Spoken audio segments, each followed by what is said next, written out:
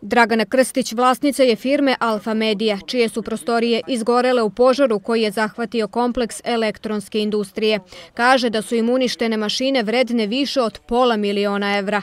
Njena kompanija je ovde zakupac objekta i šteta je, kaže, totalna. Nama je ovde bila roba, nama roba nije bila osigurana. Mi se bavimo uh, proizvodnjom materijala za internacionalne kompanije.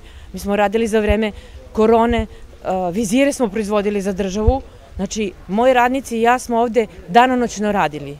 Ja ne znam koliko je mogućnosti grada pomogne, iskreno, ali od države očekujemo puno. Zato što su nam mašine sve stradale u objektu, mi nemamo repromaterijala, mi, nemamo, mi imamo samo dobru volju i radnike koje žele da rade, nemamo ni prostor, nemamo ništa. Grujica Cekić, vlasnik poslovnog prostora, kaže da je neposredno stradala imovina sedam firmi, ali je još oštećenih. Njegov prostor je osiguran, tako da očekuje da se šteta nadoknadi. Ima sedam koje su stradalo neposredno, ali desetak firmi funkcioniše ovde. Prvo da se uradi ovaj, e, istraga, da protivpožarno završi istragu i onda da se krene se iz raščićavanja. Ove su sve dobre firme sa svim papirima ispravni, tako da je to, ovaj, što se toga tiče, sve to u fullu mislim da će, tu neće biti problem. Ali, sve dok se ovo ne završi, džaba procena. Probat ćemo da nađemo alternativu da, da funkcioniše to što funkcioniše. Požar je zahvatio magacine, proizvodne i kancelarijske prostore firmi u kojima radi čak hiljadu i po ljudi. Sa vlasnicima prostora i kompanija razgovarala je gradonačelnica Niša Dragana Sotirovski. Dogovoreno je da grad pomogne u ubrzavanju administracije u rešavanju problema.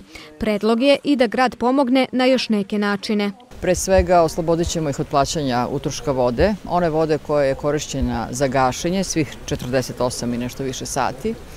I njihov predlog je, dakle, predlog privrednika da i grad oslobodi šestomesečnog plaćanja poreza. To ćemo zajedno sa lokalnom porezkom administracijom da rešavamo i sa gradskim većem. E, maksimalno smo tu da pomognemo i sa javnim komunalnim preduzećem kada se završi istraga da raščišćavamo ovaj prostor. Ono što brine u ovom trenutku jeste ovaj, i što jeste pitanje ko je bio osiguran i šta je osigurao i šta će 1500 radnika da radi, gde će da radi i na koji način će te firme da nastave da žive, jer 1500 radnika ipak nije malo ljudi i drugo to su lanci preduzeća, dakle nešto više od 10.000 ljudi eh, je u svim lancima koje obslužuju ovih sedam preduzeća.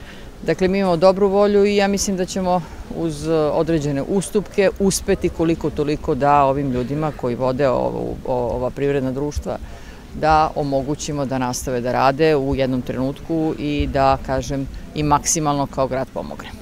Veliki požar zahvatio je oko 3000 metara kvadratnih. Najverovatnije je izbio u magacinu firme prehrambene industrije, a onda se proširio na skladišta boje i lakova i proizvodnju plastičnih kesa.